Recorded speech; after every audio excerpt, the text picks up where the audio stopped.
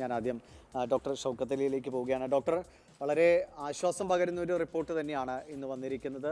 പക്ഷേ ഈ രണ്ടാം തരംഗത്തിൽ വ്യാപനം കുറഞ്ഞ സ്ഥലങ്ങളിൽ നമ്മൾ കൂടുതൽ ശ്രദ്ധ പുലർത്തുകയും വേണം. പക്ഷേ ഇതിനോടകം നമുക്കറിയാം പല പല പഠനങ്ങൾ വന്നിട്ടുണ്ട് പല വിദഗ്ധർ ഇക്കാര്യങ്ങളൊക്കെ പറഞ്ഞിട്ടുണ്ട്. അതിങ്ങനെ ഇതെല്ലാം പുതിയതായതുകൊണ്ട് മാറി മറിഞ്ഞുകൊണ്ടേ ഇരിക്കുകയാണ് അപ്പോൾ ഈ ഏറ്റവും കൂടുതലായി വരുന്ന ഐ സി എം ആർ റിപ്പോർട്ടിനെ നമുക്ക് എങ്ങനെ എങ്ങനെ കാണാൻ കഴിയും? പൂർണമായും പ്രതീക്ഷയോടെ കാണാൻ കഴിയുന്നതാണോ?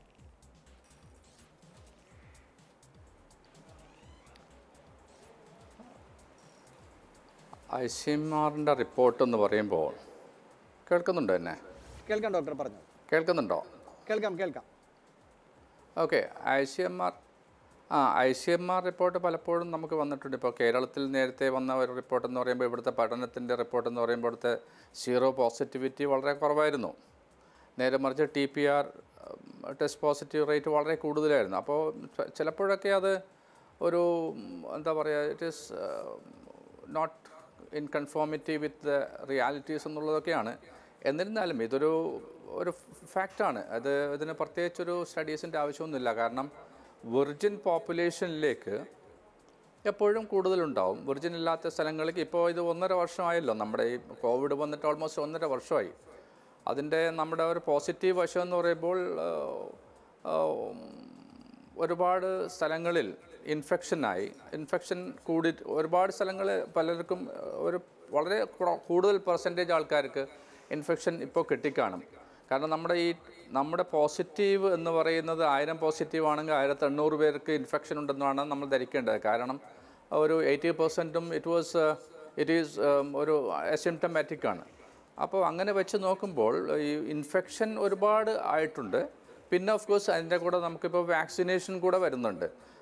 വാക്സിനേഷന്റെയും ഒരു ഇമ്മ്യൂണിറ്റി പിന്നെ ഇൻഫെക്ഷൻ വന്നിട്ട് അവർക്ക് ഇമ്മ്യൂണിറ്റി ഇങ്ങനെയൊക്കെ വരുമ്പോൾ ഒരു നമ്മുടെ സിസ്റ്റ കമ്മ്യൂണിറ്റിയിൽ ഇൻഫെക്ഷൻ നമ്മുടെ പണ്ട് നേരത്തെ പറഞ്ഞ പോലെ herd immunity rate of herd immunity is very much more അപ്പോൾ ഇൻഫെക്ഷൻ വരാൻ ഫസ്റ്റ് ഫേസ് വന്നു സെക്കൻഡ് ഫേസ് വന്നു ഇപ്പോൾ തേർഡ് ഫേസിലേക്ക് പോവുകയാണെങ്കിൽ അപ്പോൾ തേർഡ് ഫേസിൽ ബിക്കോസ് ഈ രണ്ട് ഫാക്ടറും കൊണ്ട് തേർഡ് ഫേസ് അത്രയും കൂടുതൽ വരാൻ ചാൻസ് ഇല്ല except in a place where there are lots of virgin population ആ വിർജിൻ പോപ്പുലേഷൻ എന്ന് പറയുന്ന സ്ഥലങ്ങളിലേക്ക് മാത്രം എപ്പോഴും കൂടുതൽ ഇൻ വടക്കോൾ ഇൻഫെക്ഷനും അല്ലെങ്കിൽ തേർഡ് ഫേസ് വരുമ്പോൾ കൂടുതലാവാൻ ചാൻസ് ഉണ്ട്. അല്ലാതെ മറ്റുള്ള സ്ഥലങ്ങളിൽ ഇപ്പോൾ മറ്റുള്ള ഇൻഫെക്ഷൻ കൂടിയ ഒരുപാട് ഇൻഫെക്റ്റഡ് ആയിട്ടുള്ള ആൾക്കാരുള്ള സ്ഥലത്തും പിന്നെ വാക്സിനേഷന്റെ കവറേജ് കൂടുതലുള്ള സ്ഥലത്തും ഇത് നാച്ചുറലായിട്ട് വളരെ കുറച്ചായിരിക്കും വരുന്നത്. അതിന് ഒരു പ്രൊഡിക്ഷന്റെ ആവശ്യമൊന്നും ഇല്ലെന്നാണ് എന്റെ ഞാൻ മനസ്സിലാക്കുന്നത്. അപ്പോൾ ഇത് നാച്ചുറൽ ആയിട്ടുള്ള ഒരു സംഗതിയാണ്. പിന്നെ ഈ, വേരിയന്റുകൾ പല രീതിയിൽ വരുന്നുണ്ടല്ലോ. ഡെൽറ്റ വേരിയന്റ് ഒക്കെയാണ് നമുക്കും ഏറ്റവും കൂടുതൽ ഒരു ആഘാതം ഉണ്ടാക്കിയത്. അത് ആ അത്തരം വേരിയന്റുകൾ ഇനി പുതിയതും അതിങ്ങനെ ഉണ്ടായിക്കൊണ്ടേയിരിക്കുമെന്ന് പറയുന്നു.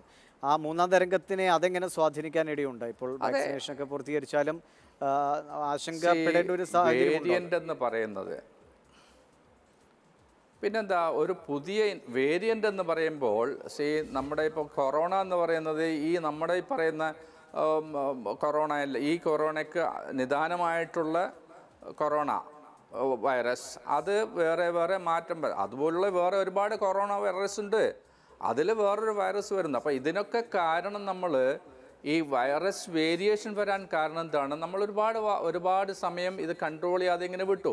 കൺട്രോൾ ചെയ്യാതെ ഇങ്ങനെ വിടുന്നത് കൊണ്ടാണ് വേരിയൻസ് വരുന്നത്. വേരിയൻസ് വരുമ്പോൾ അത് പുതിയ ഇൻഫെക്ഷനാണ് അപ്പോൾ അതിന് ഈ ഡെൽറ്റ വേരിയന്റോ അല്ലെങ്കിൽ ഒമേഗ വേരിയന്റോ ഏത് വേരിയന്റ് വന്നാലും അതിന് നമുക്ക് അത് കൂടുതലാണോ കുറവാണോ എന്നും ഒരു as a epidemic as an expert in disease control അത് എന്നെ സംബന്ധിച്ച് വലിയൊരു ഇഷ്യൂ അല്ല.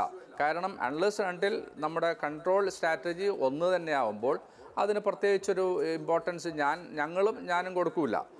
നേരെ മറിച്ച് അതിന്റെ ഒരു ഇമ്പോർട്ടൻസ് എന്ന് പറയുമ്പോൾ വീണ്ടും എനദർ എപ്പിഡമിക്സ് വിത്ത് എനദർ വേരിയ എനദർ ടൈപ്പ് ഓഫ് വൈറസ് വരുന്നത് കൊണ്ട് നമുക്കത് ഒരു പ്രശ്നമാണ്. കാരണം നമ്മൾ നേരത്തെ ഉള്ള വേരിയൻസിന്റെത് കൺട്രോൾ ചെയ്ത് വരുമ്പോൾ പുതുതായിട്ടൊരു വേരിയന്റ് വരുമ്പോൾ അത് പുതിയൊരു ഇൻഫെക്ഷനാണ് അതിലും പുതിയൊരു എപ്പിഡമിക് ആണ്. വേറെ because it is entirely different from the previous ones അപ്പോൾ അതിനെ കൺട്രോൾ ചെയ്യാൻ. അപ്പോൾ അവിടുത്തെ ഒരു വില പ്രശ്നം വരുന്നത് നമുക്ക് ഇപ്പോൾ വാക്സിനേഷൻ വാക്സിനേഷൻ നമ്മളിപ്പോൾ ഉണ്ടാക്കിയിരിക്കുന്ന വാക്സിനേഷൻ ഇത് ഇനിയൊരു വേരിയന്റ് ഡെൽറ്റ വേരിയന്റോ അല്ലെങ്കിൽ വേറെ ഒരു വേരിയന്റോ വരുമ്പോൾ അതിനെ ഇത് ഏൽക്കുന്നില്ല എന്നുണ്ടെങ്കിൽ നമുക്ക് പ്രശ്നമാണ്. അതിന് നിങ്ങൾ പറഞ്ഞ പോലെ it is certainly situation for anxiety എന്ന് പറയാം.